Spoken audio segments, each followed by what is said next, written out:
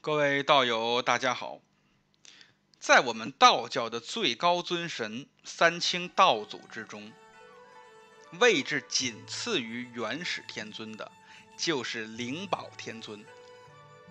灵宝天尊的全称是太上玄黄高圣元气所成，灵宝天尊上清妙有上帝玉臣大道君。它所象征的是道经师三宝之中的经宝，也就是道教的义理。在三洞真经之中，它是洞玄部的教主。道教认为世间万有生自于无，即所谓万物生乎妙一，从乎妙一。这里的妙一就是无极而太极的大道。接着。妙一化为三元，又从三元变成三气，再从三气变生三才，三才即资，万物思备。什么是三元呢？就是第一，混动太无元化生元始天尊；第二，赤混太无元化生灵宝天尊；第三，明记玄通元化生道德天尊。这个过程就是所谓的一气化三清。在南北朝时期，高道陶弘景编写的《真灵位业图》中，灵宝天尊称为上清高圣太上玉尘元皇大道君，在第二神阶之中位，仅次于第一神阶中位的元始天尊。老君圣迹。称其为太上大道君，云集七千里，称其为灵宝尊。其实唐宋以来，灵宝天尊一直普遍被称之为太上道君或玉尘道君。宋代起才开始出现灵宝天尊或灵宝君的称呼，而直到明代，才逐渐将三清中的第二位。称之为灵宝天尊。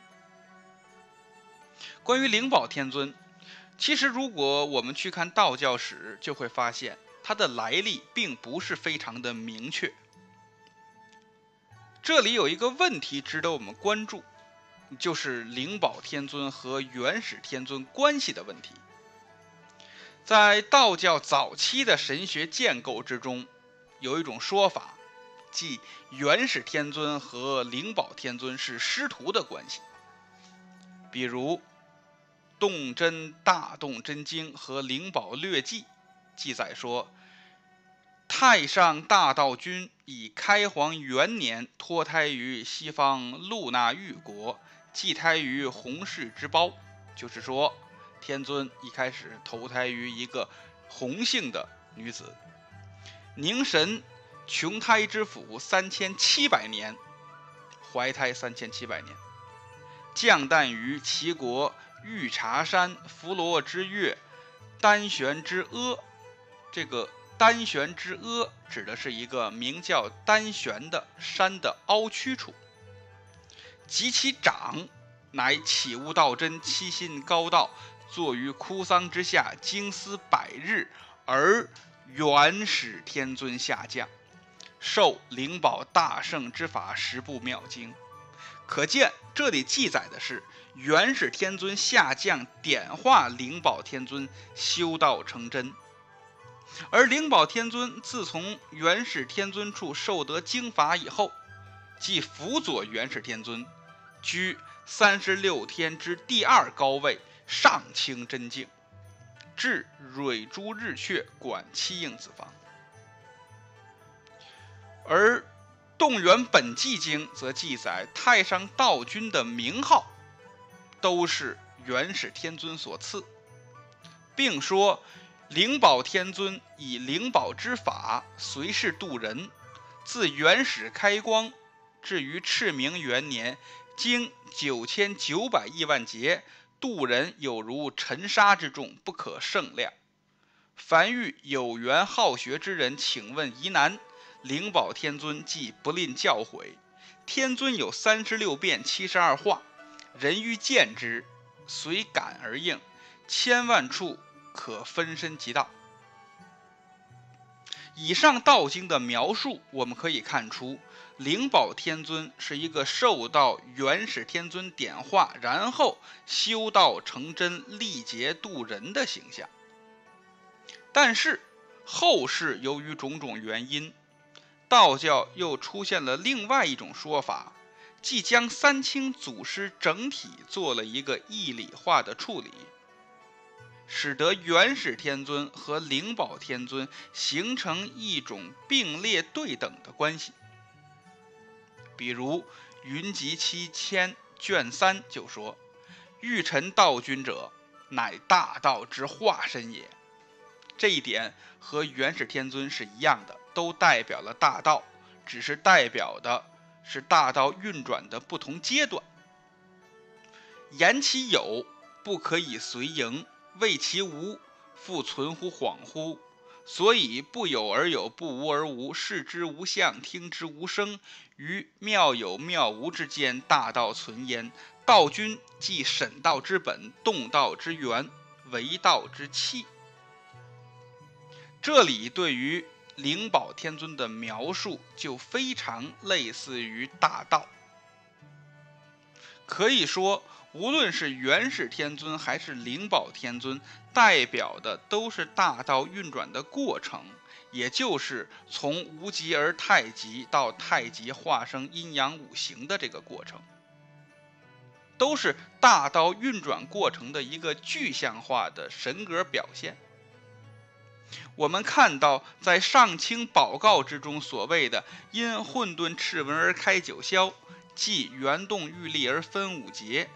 天经地纬，微乎造化之宗；殊因极阳卓尔雷霆之祖。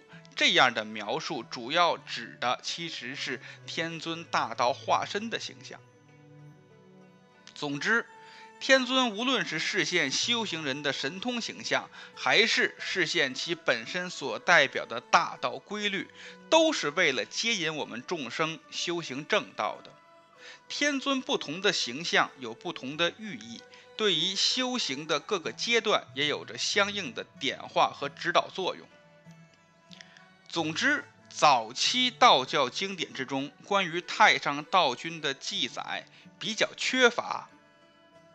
不过，如果元始天尊代表着的是无极而太极的境界，那后世道教都是将灵宝天尊看作是太极生阴阳五行。这个境界的象征，在宫观之中，灵宝天尊供奉在元始天尊的东侧，其形象或是手持太极图，或是手持如意。这个形象往往容易和雷祖闹混，因为雷祖手持的是金光如意，而灵宝天尊手持的玉如意叫做碧玉瑶光如意。根据《历代神仙通鉴》记载，灵宝天尊的这柄如意是五方五老上帝中的中央黄老所持。后来，中央黄老吹气将这个如意化作一个婴儿，元始天尊特命太上大道君，也就是灵宝天尊，抱着这个婴儿投生到光颜妙乐国。这个婴儿长大之后。经过修行，就成了我们非常熟悉的玉皇大帝。所以，灵宝天尊手持的碧玉瑶光如意，代表的是道君捧诵玉帝之无上德相。而灵宝天尊另外一个法相是手捧太极图，这个形象则象征着。混沌始清，阴阳初分的这个境界，道教往往以阴生阳退、二气渐分的夏至日为灵宝天尊的圣诞。关于灵宝天尊，我们就介绍这么多，感谢诸位。